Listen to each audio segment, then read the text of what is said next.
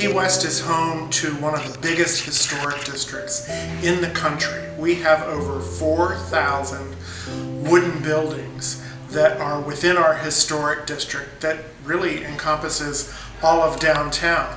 So anywhere you go on in Key West, you're going to run into these great old buildings. We have our own building styles here. A lot of it is uh, after the Civil War. So as people are walking around the historic district or downtown Key West, they often marvel at uh, the architecture.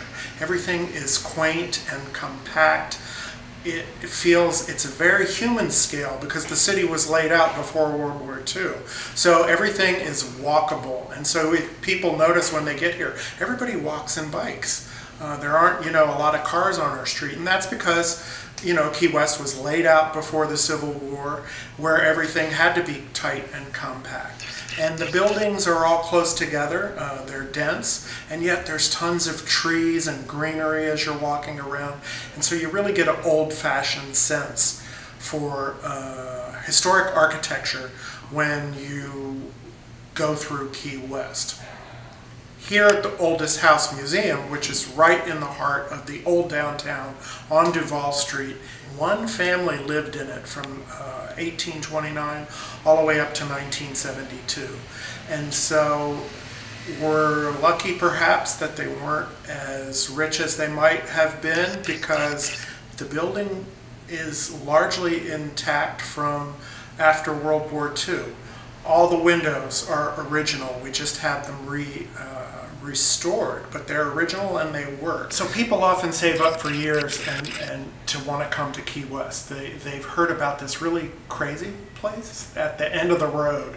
Key West has always been a haven for people that uh, thought they were misfits or outcasts in other places. And so Key West uh, has always had a culture that embraced that diversity.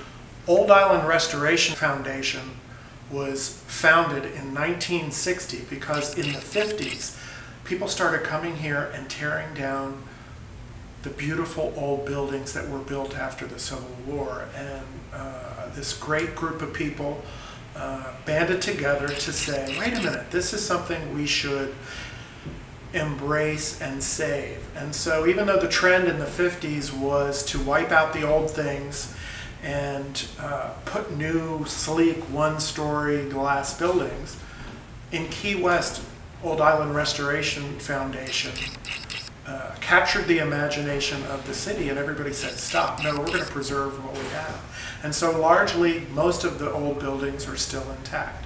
And so OIRF exists to help preserve the historic district and preserve this oldest house in Key West and to uh, educate people about the cultural history of Key West, which is very unique in that it's always embodied that tolerance and diversity.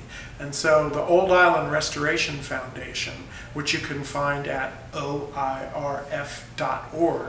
um, really embodies something special here in Key West and learn more about our fun, quirky, uh, tolerant culture here in Key West.